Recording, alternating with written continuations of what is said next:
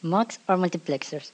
They are components that help us to design circuits in a way that we have a special input called selector, and this input will select which ones of the other inputs it's going to be the final output. Like my selector will decide if I want this input as my final output or if I want this one or whether of the options that I have within all my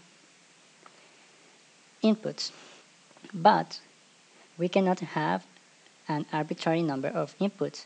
These inputs will depend in the size of our selector. If our selector is of 1 bit, then we will have two input options right here. If our selector is of 4 bits, we will have 2 to the 4 inputs that we can. So if our selector is of 2 bits, we have 2 to the power of 2. That makes us 4 inputs, which is this example right here. We have 4 inputs, so that means that our selector, that its an input, is of 2 bits. So let's see an example of, of how this works. We have this truth table, and we want to use a mux to implement this truth table.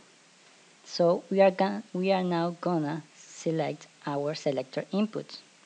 Let's say that our selector inputs are our three unique inputs. This means that we are going to have three inputs as as the inputs that will select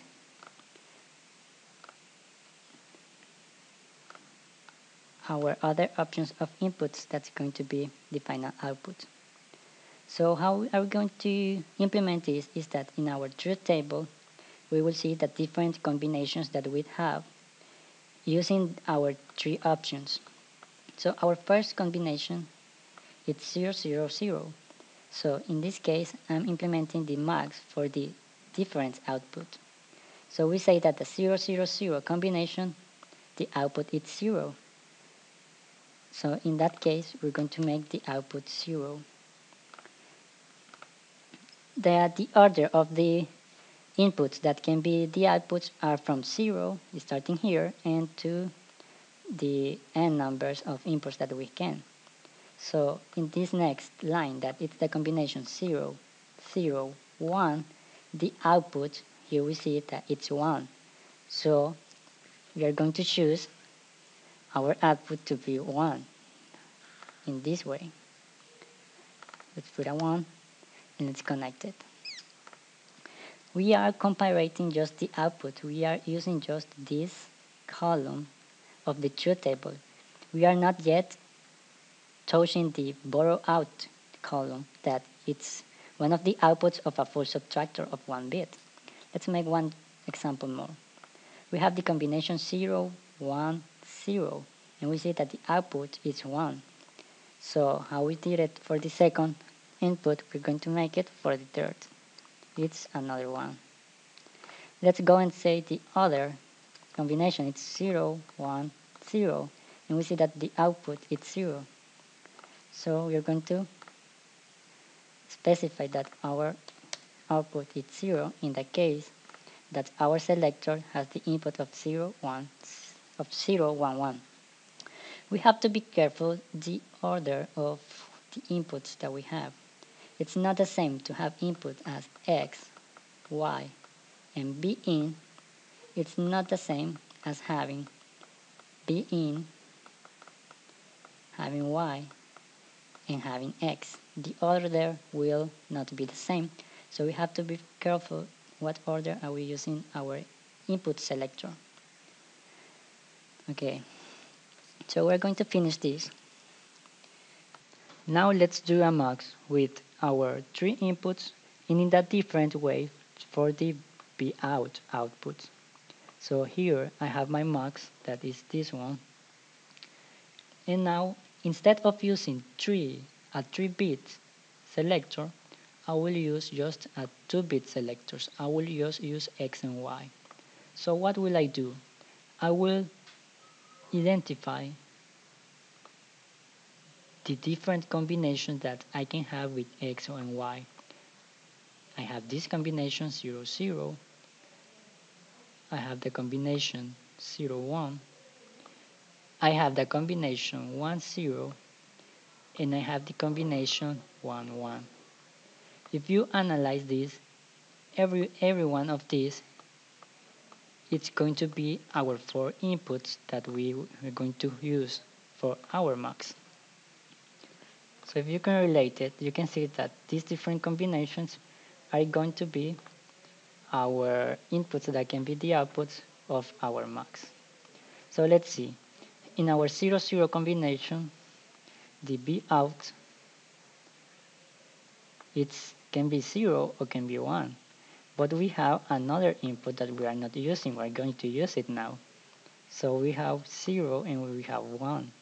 So we can see that in the 0, 0 selector combination, the B in input is going to be the same for the B out output. So we are basically saying that in the 0, 0 combination, our our output is going to be the same as the input. So let's go to the other selector combination. We see that it's 0, 1. So let's see our input that it's going to be our list of inputs. We see that it's 0 and 1. And we see that the output, it doesn't matter what's borrowed in, the output will be always 1. So what are we going to do? We are going to put the constant 1 to be our our output. So let's have the other case. We have 1 and we have 0, that's our combination. And we see that the borrow in input is 0, 1. Let's compare it to the borrow out output. It's 0. It doesn't matter what what's the input, it will always be 0. So we are saying that doesn't matter what, it's always going to be 0. Now let's have our last combination of the selector input for our mux. We see that it's 0, 1, and we see that the borrow out is the same as the borrow in. So basically, we are saying that you're going to take the same. where You are going to take just the same as the borrow in input. And who's going to be our selector? Well, it's going to be X and it's going to be X and Y. So it's going to be X and Y. And the combination of our X and Y is going to decide what are going to be our outputs for the borrow out in this truth table. So you can see that we can choose our number of inputs for the mux. We can choose how many how many how big it's going to be our selector. We can make a selector of 3 bits and fill it with constant, but we can see that that's maybe it's using many resources, maybe it's not that necessary. So we can look for a balance. So why not using a selector of 2 bits for our two inputs x and y and use the borrow in use the borrow in input to compare it to our borrow out output so we can we can do a play there and find the combinations and use a mux that is much smaller. It has a better performance than this mux so what will happen if we decide that our number of selector of bits is going to be 1 you see that we have just two two options for the mux so let's decide that our selector is going to be just X. So X just have two, two simple options, or it can be 0, or it can be 1. So we will have to compare all these combination for the other input, compare it to our desired output. So in this case, we see that y and borrow in the 0 0 will be 0 the 0 1 is going to be 1 our 1 0 is going to be 1 and our 1 1 is going to be 1 so if you analyze this and you can see it you can see that our other inputs it's going to be it's basically an OR truth table. If y or b in it's going to be our b out so to implement this we will have to to do this. We will have to take our y take our b in and just add an OR. Let's say we have this OR.